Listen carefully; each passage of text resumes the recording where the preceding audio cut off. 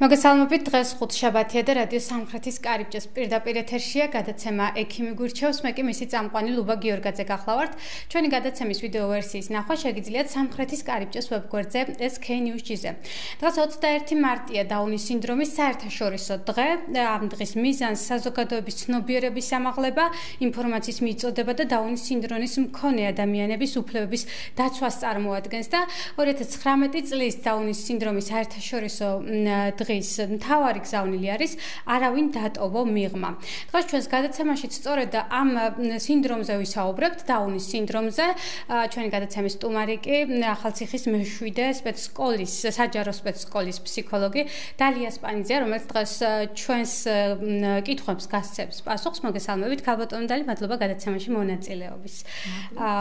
მიღებისათვის რა არის დაუნის სინდრომი პირველ რიგში? აი ამით რომ დავიწყოთ ჩვენი გადაცემა. გმადლობთ მოწვევისთვის. დავიწყოთ იმით, დაუნის სინდრომი ეს გახლავთ ქრომოსომური დარღვევა. ადამიანს 21 ქრომოსომის წვილზე ემატება ერთი ქრომოსომა, მესამე ქრომოსომა და 46 ქრომოსომის ნაცვლად გვაქვს 47 ქრომოსომა და სწორედ 47 ქრომოსომის მქონე ადამიანები გახლავთ დაუნის სინდრომით. რაც შეეხება დაუნის სინდრომს რა ახასიათებს მის დამახასიათებელი ნიშნები როგორია? დაუნის სინდრომის ძირითადი მახასიათებელი ეს მისი გარეგრუნული ნიშნებია. ძირითადად მათი მახასიათებელი ისინი ერთმანეთს ძალიან გვანან ამ ნიშნებით და ეს ნიშნები არის მათ აქვთ პატარა თავი თანთან შედარებით დიახ შესაბამისად თვალების ირიბი ჭრილი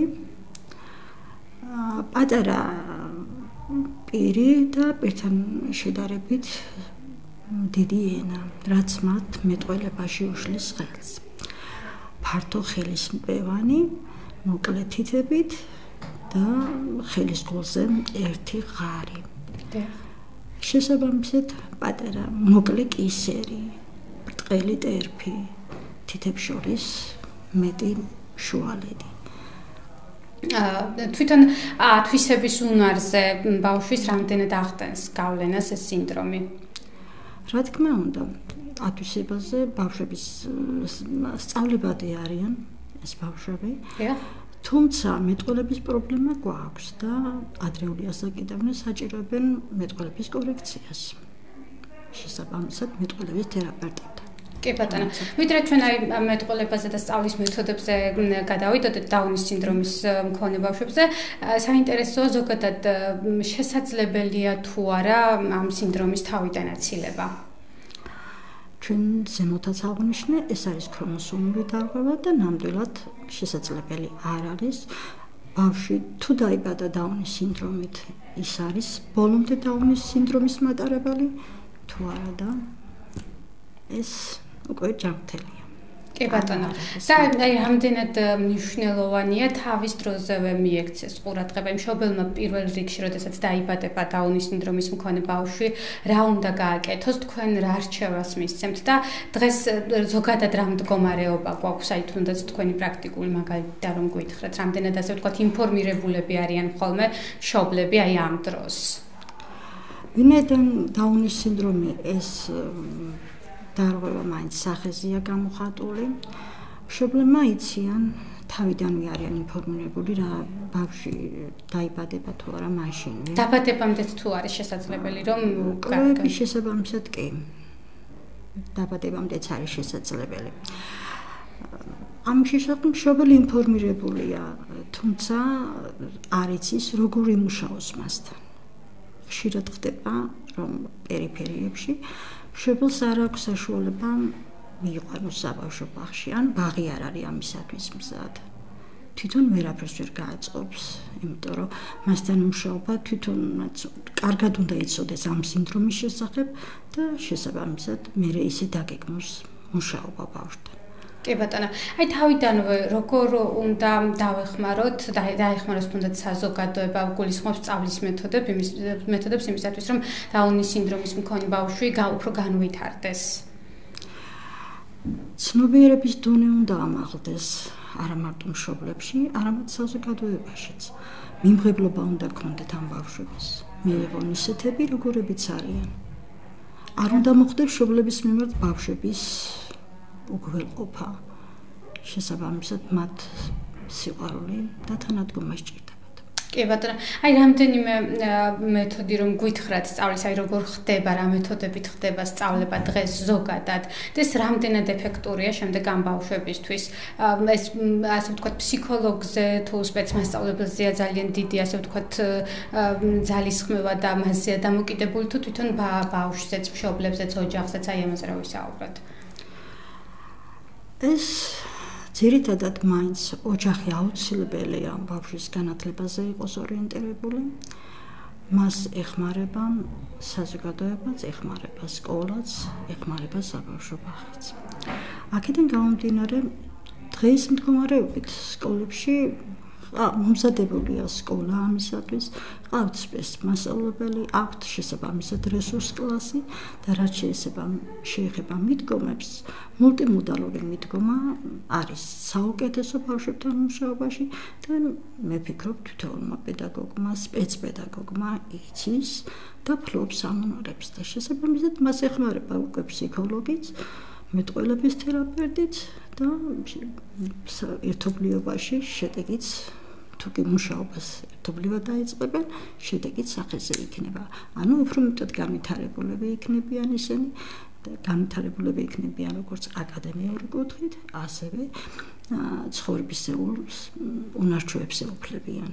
სოციალურ მარჩვებს. ასე რომ დავალი ასე კიდევ უნდა დაიწყოს ხო მშობლებმა იმისათვის რომ არ გართულდეს. იმ შემთხვევაში თუ ესე ვერ მოხდა, ანუ თუნდაც არ არის ინფორმირებული მშობელი და დროულად ვერ მიიყვანა ბავშვი თუნდაც სკოლაში, თუნდაც ბაღში, ამ ამ დროს უკვე რა ხდება ქალბატონოტალი?